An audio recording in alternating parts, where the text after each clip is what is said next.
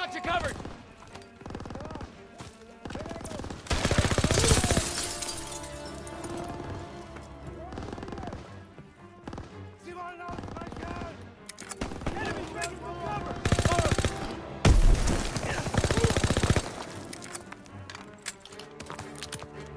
Ammo when you're ready, Private.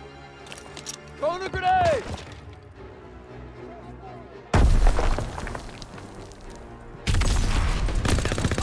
That's the last of them. Good job, Daniels.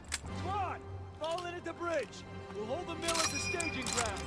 When Pearson gets here, we'll advance to the assembly point. On my way, sir. Fuck! Snipers, get to cover! Get fire on them! Germans ahead! Don't bunch up! There's a sniper up there. Bullseye. Huh?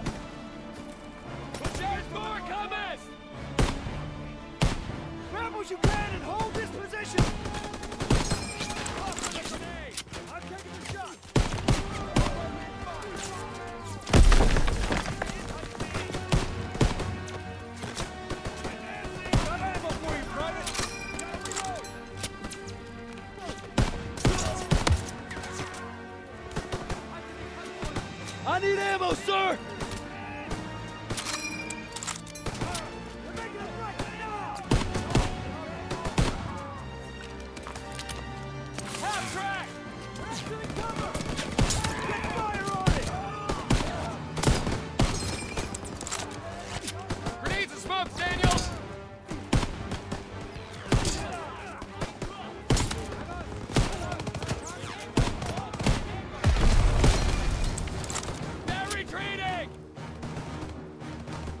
We'll hold them off. Stay alert. We're gonna wait for Pearson, then proceed to the assembly point. Stiles, Daniels, on me. I need ammo, sir. Got you covered, Private. We hold this position until Pearson gets here, then we take the hill together.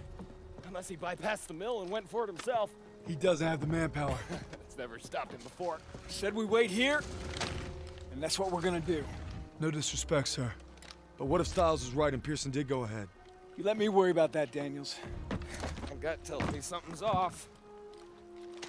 If I made decisions based on your gut, Private, we'd still be on the boat at Normandy. Exactly.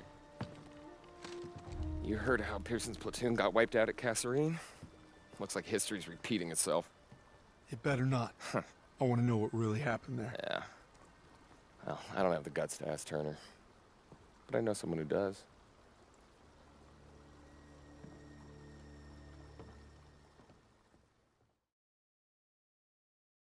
Our mission is to knock out the German artillery together.